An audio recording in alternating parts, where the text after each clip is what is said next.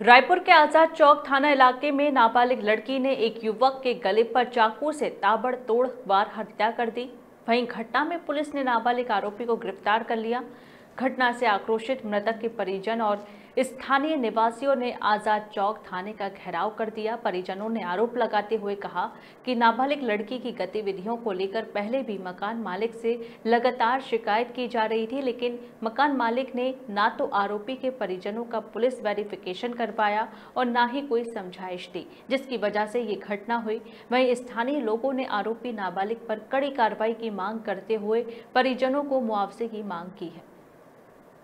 कल हमें सूचना प्राप्त हुई थी कि एक आदमी को चाकू मार दिया गया है। उस पर से तत्काल वहाँ पे पुलिस पहुँची है। वहाँ पे हमने सबसे पहले तो हमने जिसको चाकू लगा है हमने उनको हॉस्पिटल भिजवाया और उसकी हॉस्पिटल ले जाते समय ही उनकी मृत्यु हो गई है।